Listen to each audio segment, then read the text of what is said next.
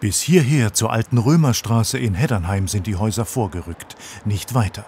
Ein Glück für die Archäologie, denn auf dieser Fläche hat sich, metertief im Boden, ein Tor geöffnet. Zu einer großartigen antiken Stadt. Bevor jetzt die letzten Grabungen enden, hat das Denkmalamt einiges zu zeigen, auch Luxusartikel aus römischer Zeit. Also zum Beispiel haben wir hier eine sogenannte blaue Rippenschale. Es ist nur, es ist der Rand, dann, warum es Rippenschale heißt, ergibt sich natürlich großer Durchmesser, ein sehr teures Stück, ähm, aber so etwas, äh, das ist ein Luxusgut. Das kauft man sich für teures Geld auf dem Markt.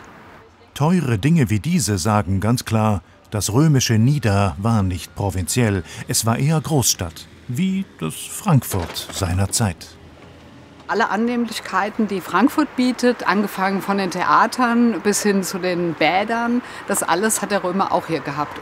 In der Grabungsfläche liegt der Beweis dafür. Spuren riesiger Großstadthäuser, aber leider nur Spuren. Denn das hochwertige Mauerwerk ist weg, schon lange.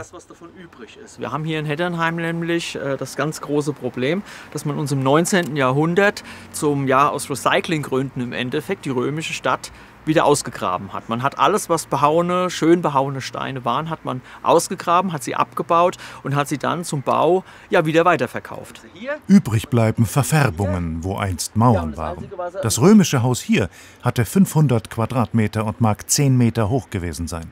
Glück für die Archäologen, das Zimmer nebenan war mal ein Bad. Der Estrich ist noch da. Römische Handwerker haben darauf eine Heizung gebaut.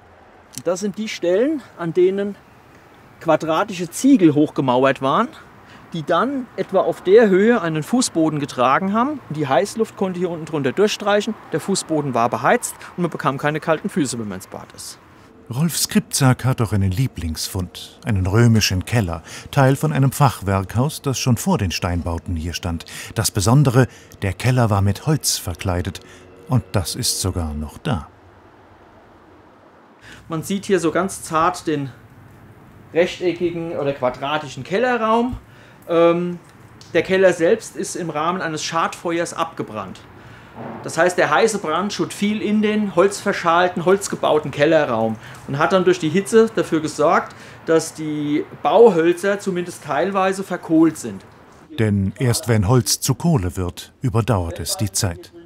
Die letzte große Grabung in der Römerstadt geht zu Ende, aber geschätzt zehn Tonnen an Funden sind noch zu untersuchen und halten sicher noch Überraschungen bereit.